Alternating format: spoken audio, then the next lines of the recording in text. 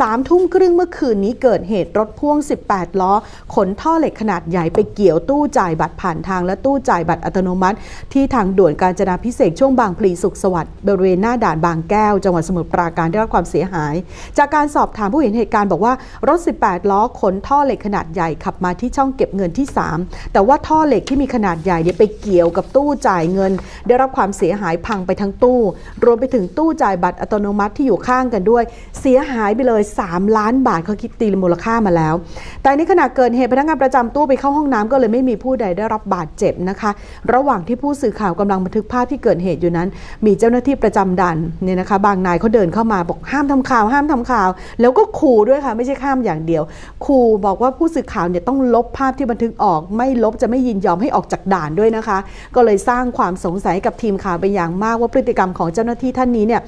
ถ้าหากว่ามันเป็นอุบัติเหตุที่เกิดขึ้นตามปกติก็ไม่มีใครเขาครับต้องมาห้ามกันขนาดนี้นะคะ นี่มันก็เป็นอุบัติเหตุปกติทำไมจึงห้ามทำข่าวด้วยค่ะ